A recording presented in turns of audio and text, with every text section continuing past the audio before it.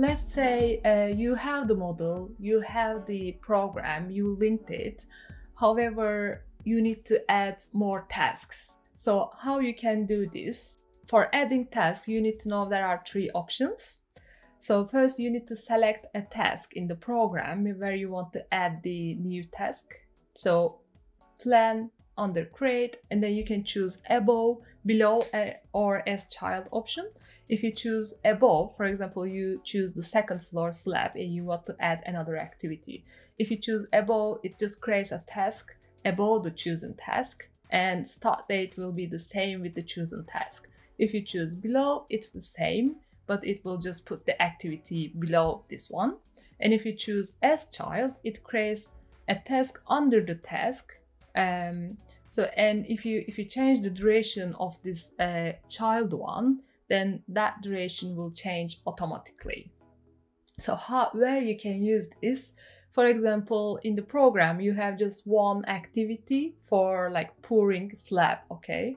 But in real life, maybe you will pour it in three phases. What you can do, you can just put child activities, three child activities for like each phase, and then you can link your slab the the three part of your slab to that activity to show you know you will pour it in three phases.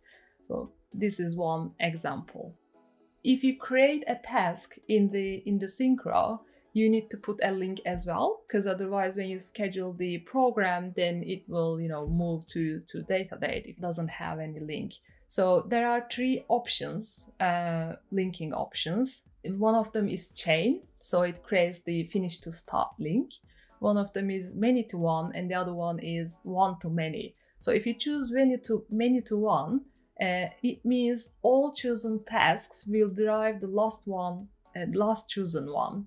If you choose one to many, then the last chosen one will drive all other chosen ones. So here you can see the examples. So if you choose one many to one, then one two will drive three, if you choose one to many and then you the three so the last one you choose will drive the other two or how many you choose.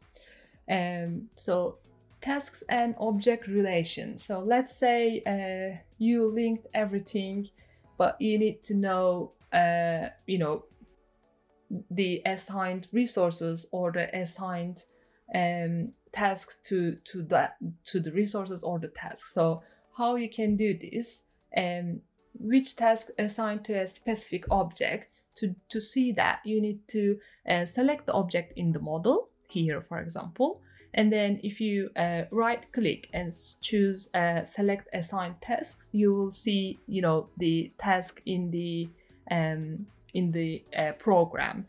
On the other hand, you can choose, you know, any task, and if you right click and say uh, select assign resources, you will see those resources in the model highlighted.